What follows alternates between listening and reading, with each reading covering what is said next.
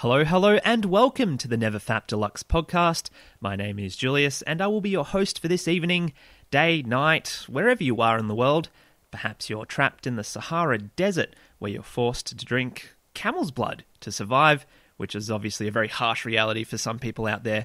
And you thought, you know what? I want to be entertained, but also I need some tips and advice on my porn addiction, which is killing you.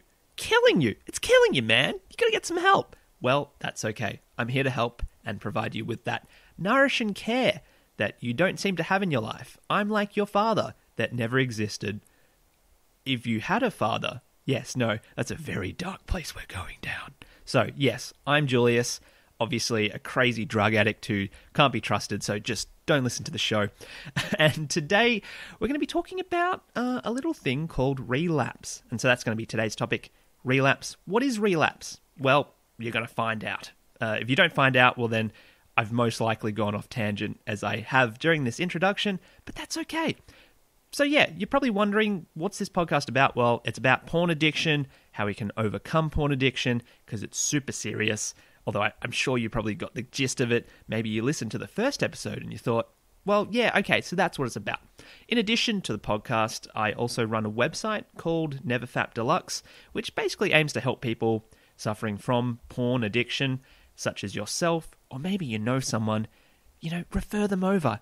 Get them some help. Everyone needs help sometimes. I know I need help. I'm having a nervous breakdown right now. So, there's heaps of things you can do.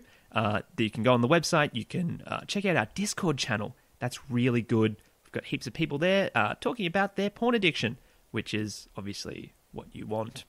Now, I thought it'd be cool to start the show obviously it, it's gonna we're gonna be talking about relapse and that kind of thing. But I thought before we get to that, it'd be nice in each episode to talk about mental health because that's really what this is about and what the porn recovery process is about. It's about mental health.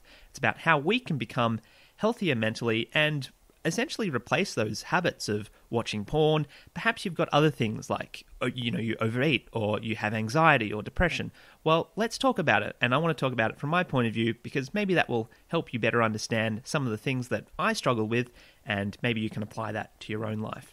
So, how has my mental health been? Well, my mental health's been good. It hasn't been great. Uh, it's great now, but over the past week, it's sort of been up and down. I think essentially what happened is I, I started this discourse channel that I mentioned earlier, and it's been making me a bit manic in the sense of like it's this shiny new thing. You know, I'm getting new members coming on board, and we're talking, and it's like it's just crazy. It's like wow, these people really care, and you know, we want to make this great community. And so I've just been like checking my phone every three seconds, which is really bad because it becomes habit to the extent where you don't even think about it. It's just like I'm going to pick up my phone and look through these these these Discord messages, and I'm sure you might do a similar thing with Facebook or Instagram. You know, you're at home, maybe you're sitting on the toilet doing a number two or a number one. The Reed doesn't discriminate.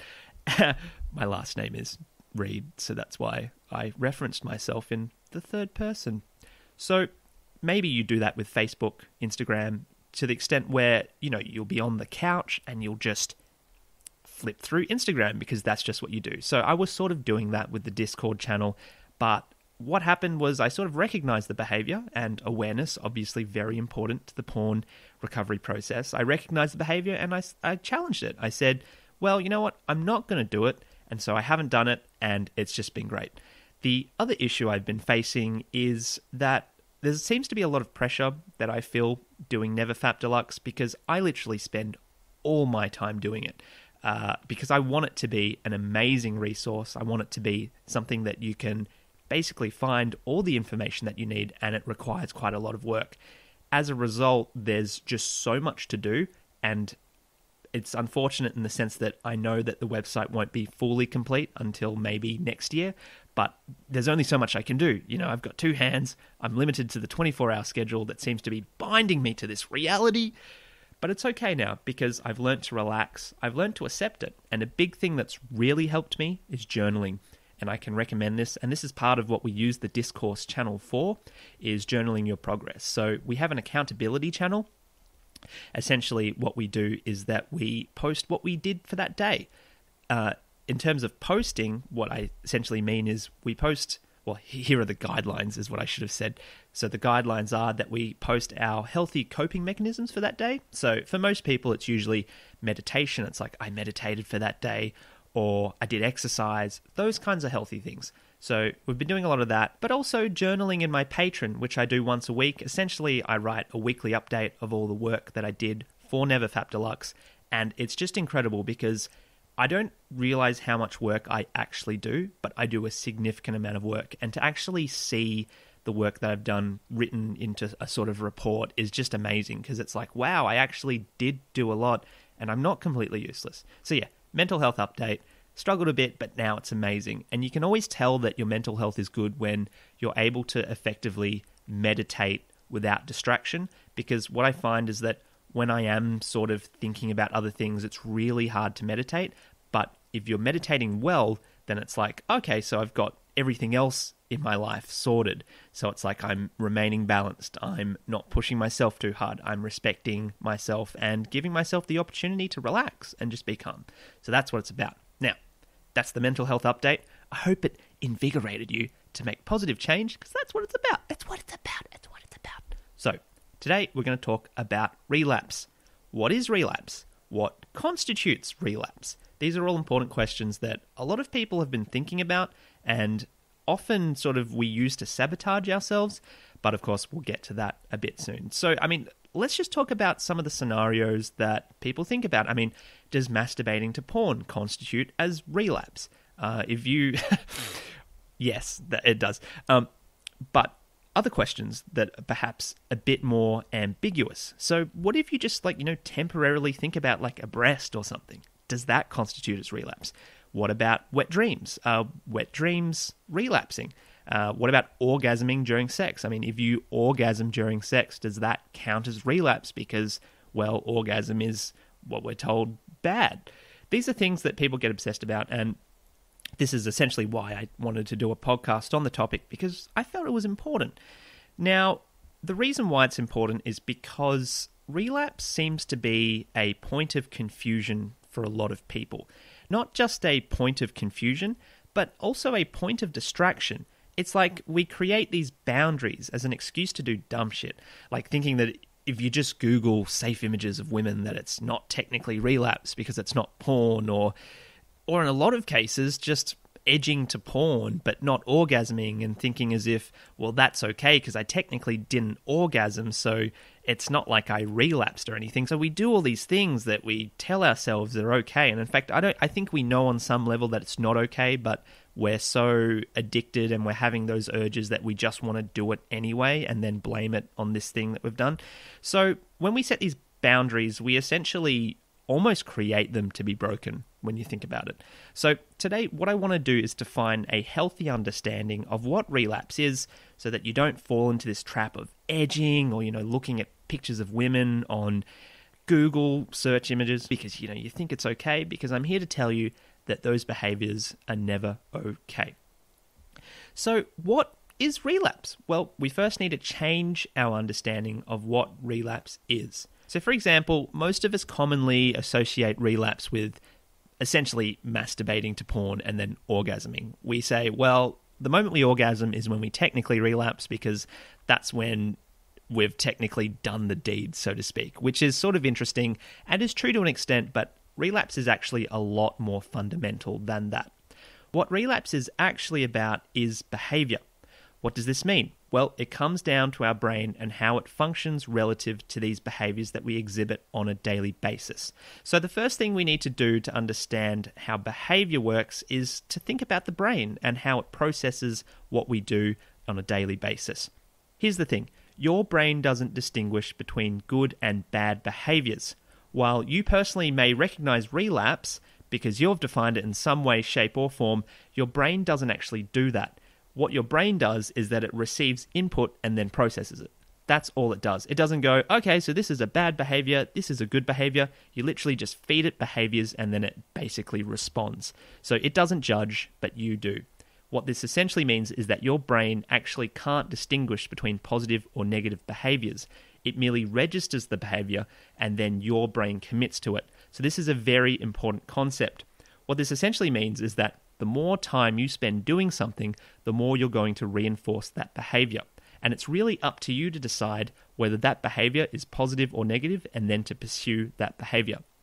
Now, this is huge because once you understand this, it basically answers all your questions to do with relapse. It no longer becomes about edging or thinking about porn or, you know, is it okay to orgasm to porn? These are questions that all become irrelevant. So essentially, what your strategy comes down to are these two very important things limiting and reducing the number of negative behaviors that you do, but also increasing and promoting the positive behaviors that you do.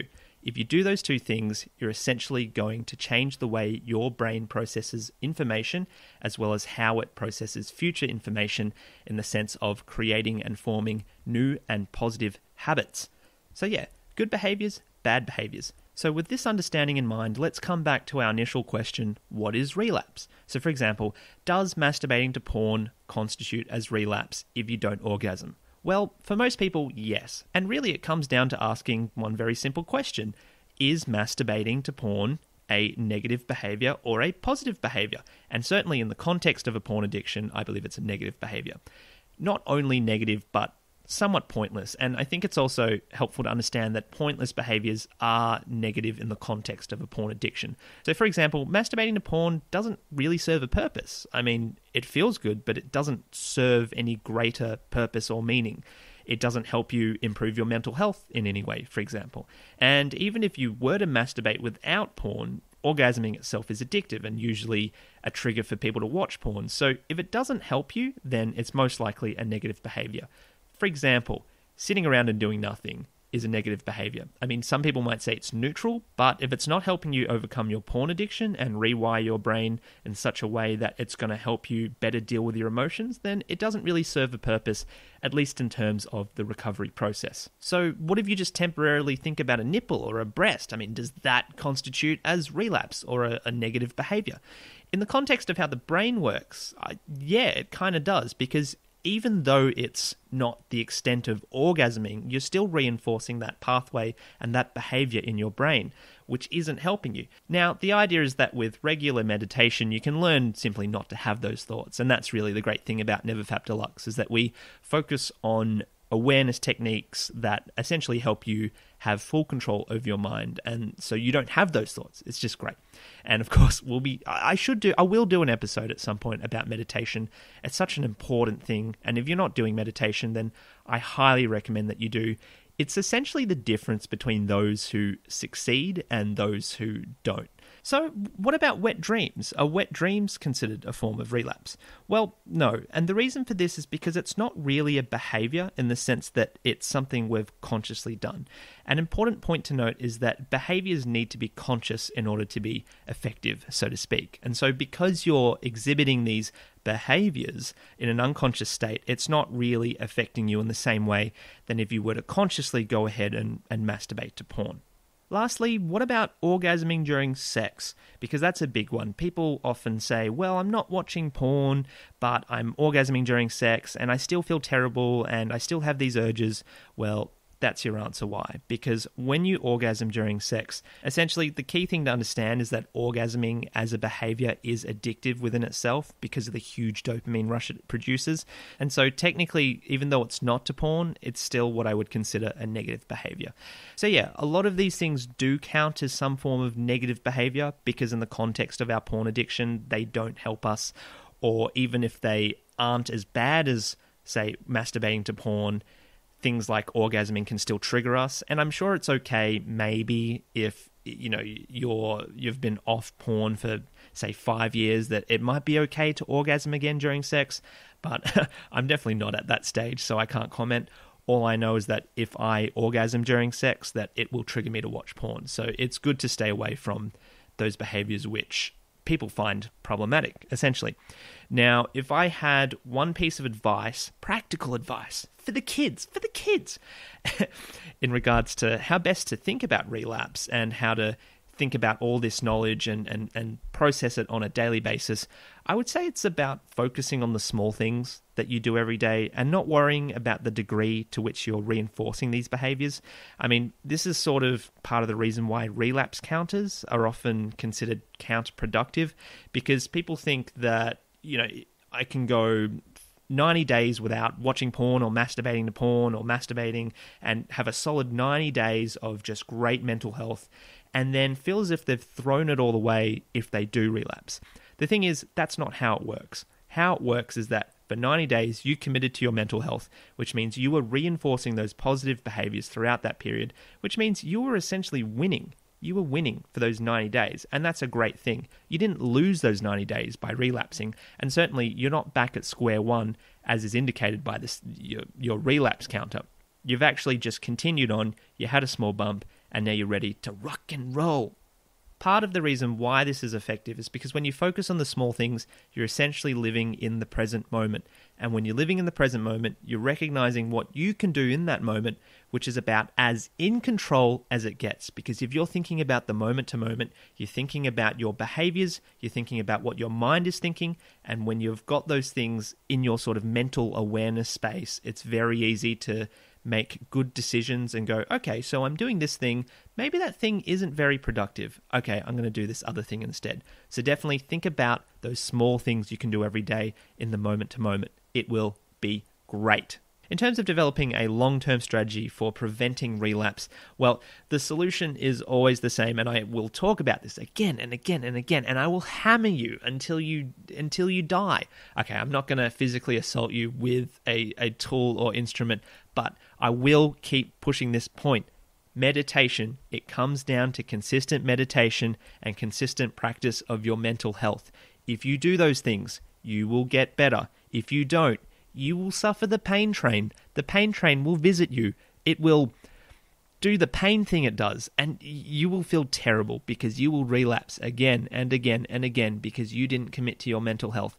And the worst thing is that you're going to be questioning, what did I do wrong? I mean, I've tried all these things, blah, blah, blah. No, you didn't meditate. If you meditate, you'll be fine. It's the same thing every time. People come to me and they go, Oh, you know, I've been reading all these articles and I've been exercising and all this stuff and then I ask them, well, have you been consistently meditating? And every time they go, oh, no, I didn't think it was a big deal. Bam, there's your problem. So if you don't meditate, you're going to suffer.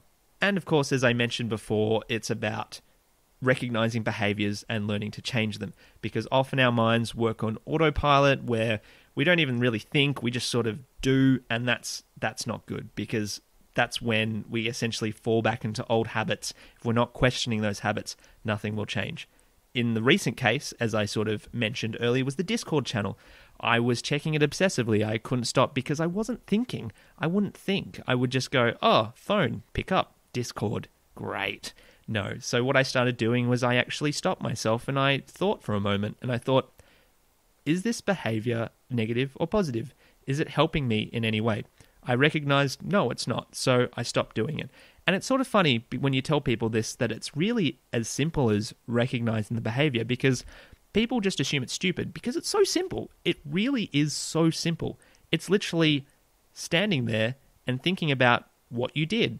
And people don't do it. I don't know why. It's sort of funny because I didn't do it. I mean, I know why because people think it's silly, but it's actually really effective. So give it a crack.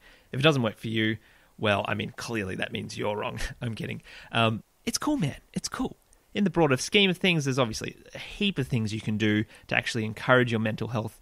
Uh, it means learning new skills, learning practices which help promote awareness, learning self respect. I mean, self respect is such a big thing. And yeah, adopting all these positive strategies that teach you positive skills. And you can find it all on the Never Fap Deluxe website. There are so many articles on the website which describe how to adopt routine, awareness, and basically everything that you could possibly want. So, in summary, it really comes down to behaviors. Positive behaviors, such as pledging money to my Patreon. Ka-ching! Oh, you don't have to do that, by the way. It's cool. I've got a job because I'd love to do this full time. And if you pledge, then obviously I can do this full time. But yeah, aside from pledging money, hello, hello, uh, you can also obviously work on your mental health, as I've been describing. Get on the meditation bandwagon. It's so good. It's you don't realize how good it is until you do it. And of course, negative behaviors, such as masturbating to Donald Trump. Don't do that. Don't masturbate to Donald Trump. Not only is it not cool, it's not just uncool, but you know, you've got other people you can masturbate to. Masturbate to Oprah, a strong, powerful black woman. That's what this society needs. Okay, I'm joking. Don't masturbate to anyone. Especially don't masturbate in front of the mirror. That's creepy. Especially, oh, well, I guess it's not creepy if you're filming it and then making money off it by sending it to people. It's like, yeah, hey, look at this. This is viral, baby.